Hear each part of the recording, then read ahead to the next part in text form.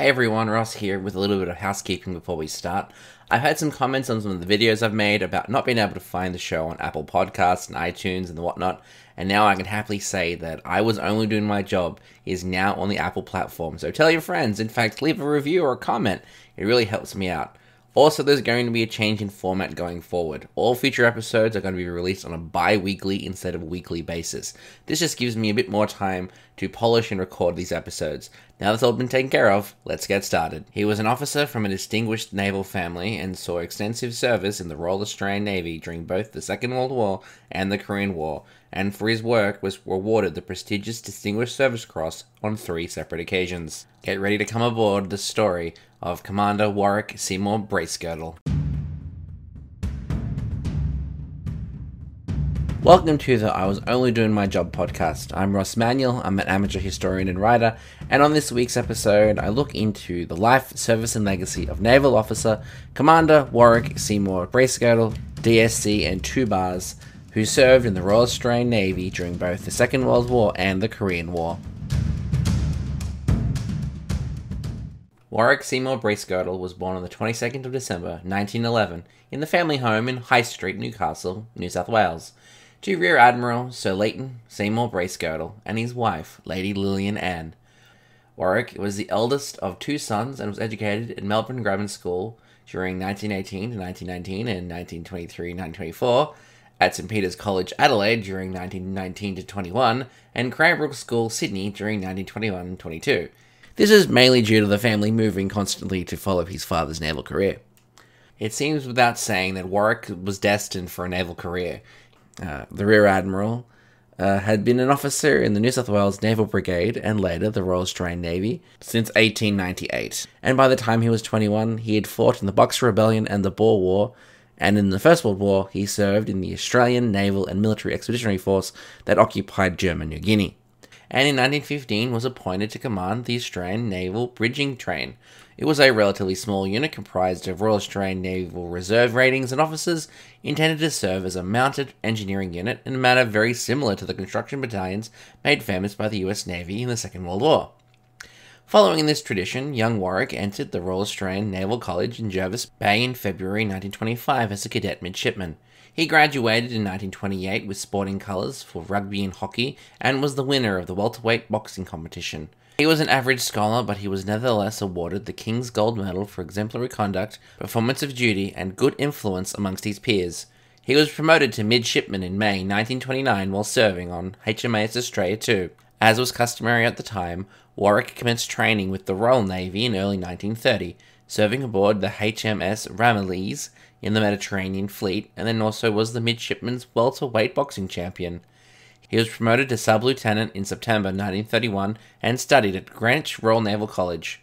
He struggled with his academic subjects on the course, and he failed a number of them in 1932, but repeated and completed the course in 1933.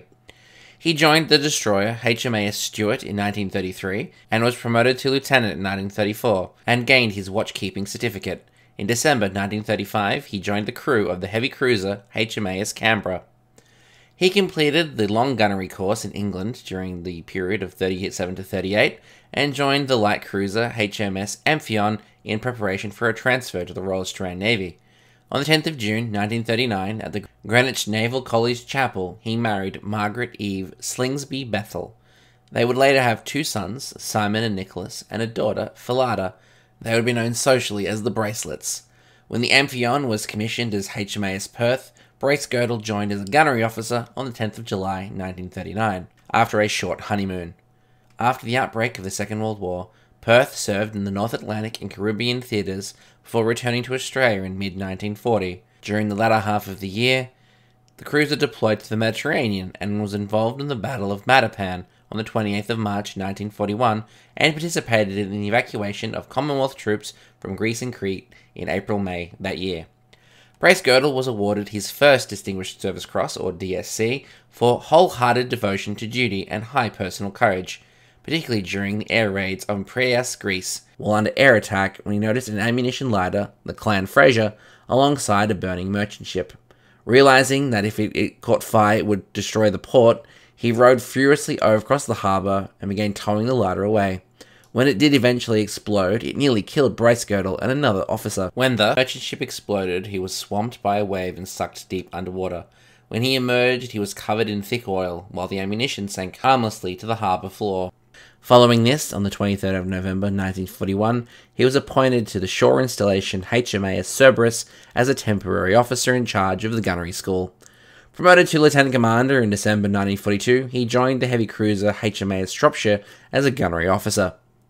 During the next two and a half years, he saw service in New Guinea and the Philippines campaigns. On the 25th of October 1944, during the Battle of Surigao Strait, HMAS Shropshire fired over 240 8 inch shells as part of a US Navy task group, contributed to the destruction of the Japanese battleship Yamashiro. Bracegirdle was awarded a bar to his DSC on the 27th of March 1945 and twice mentioned in dispatches on the 1st of January and 1st of May that year. For those unaware, a bar is a second decoration of the same type. He was highly regarded by the ship's company, who described him as a great one eyed gunnery officer, never failing in his enthusiasm, who had a significant effect on the training and devotion to duty of the men underneath him. His personal reports, however, told a different story. Captain John Collins, the commanding officer of the Shropshire, stated that he was not an agile brain, and rapidly changing situations were rather bewildering to him. However, he plods on and gets things sorted out eventually. The constants throughout his all his reports were his outstanding social skills, his love of the navy, a selfless attitude, particularly in combat, and his genuine concern for the men under his command. One report described him as a breezy, cheery type for whom the troops will do anything. Bracegirdle returned to the gunnery school in May 1945 and was promoted to commander in June 47. When the family moved to England in February 1948, Warwick completed the Joint Services Staff Course, which was followed by a secondment to the British Combined Operations Headquarters and the Operations Division in the Admiralty. On returning to Australia, he took command of the destroyer HMAS Bataan in late 1951 and took her to the Korean War between February and August 1952. Bataan operated in poorly charted waters and conducted frequent naval bombardments of North Korean positions in support of Australian forces.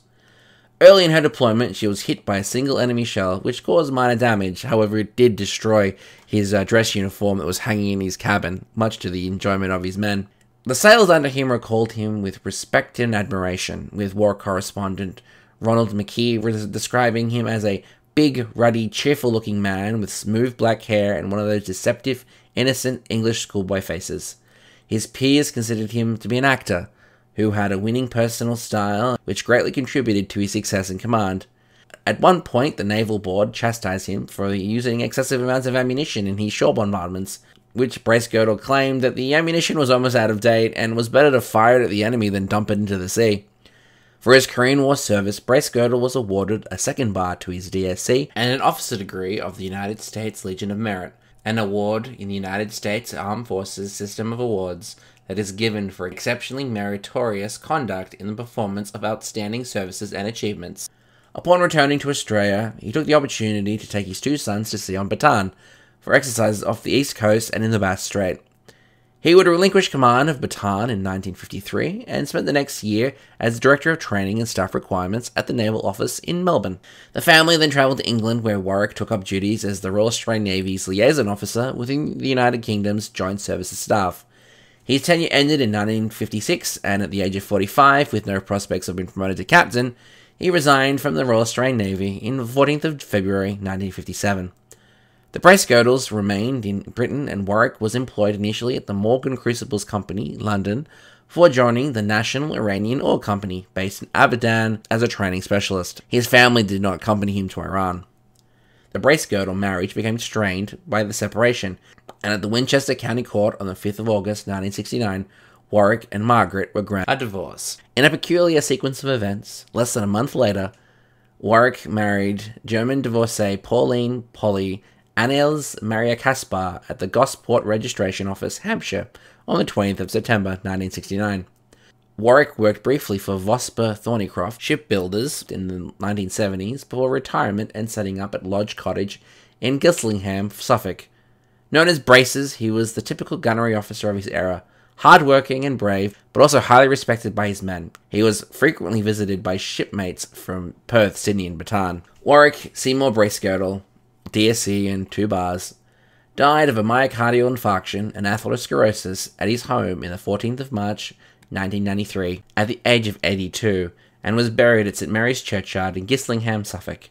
A memorial service was also held in Australia at the Naval Chapel in Garden Island, Sydney, for his family, friends, and many admirers.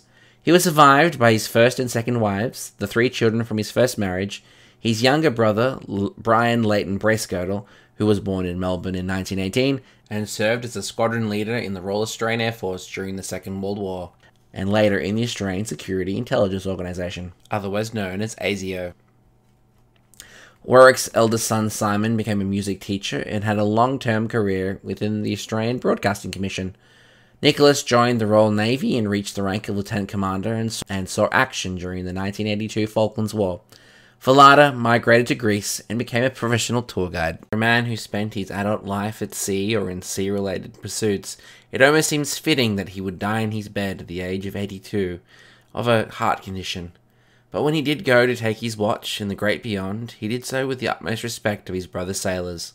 And while he may not have had the career his father had, his service to his country during two global conflicts cannot be discounted, and for that we are eternally grateful.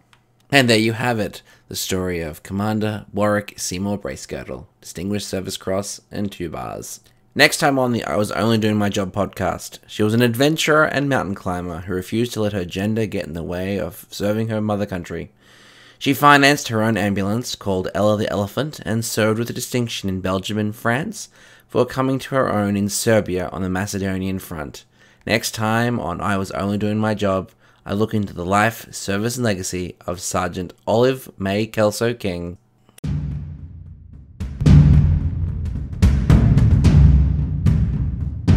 Thanks for listening to the I Was Only Doing My Job podcast, a Doc Network production. I would really appreciate it and would help out the show if you would share this or leave a comment on Spotify or Google Podcasts or anywhere you listen to podcasts, as it really helps others find the show.